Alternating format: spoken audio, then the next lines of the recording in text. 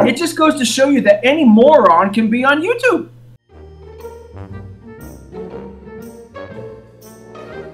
This stuff about the buffer is so damn dumb.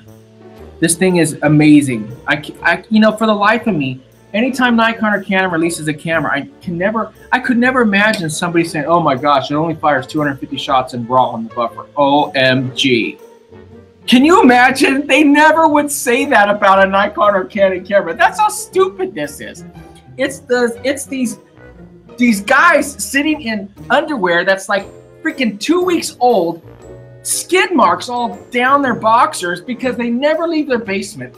The only time they hear the voice of a woman is if it's from their mom telling them to clean up their basement room, and they're 40 years old. That's who this is. These people making up this bullcrap. They never take pictures. They're not real photographers.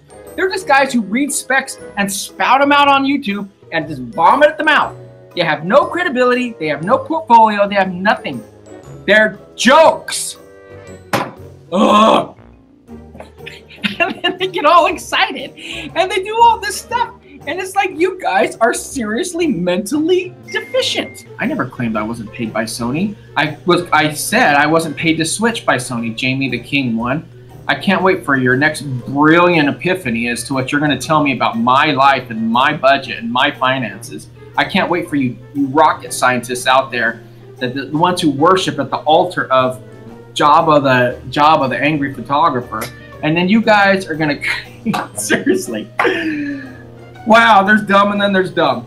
I get paid by Sony when I speak for them. I'm not being paid for them right now. Are you on drugs?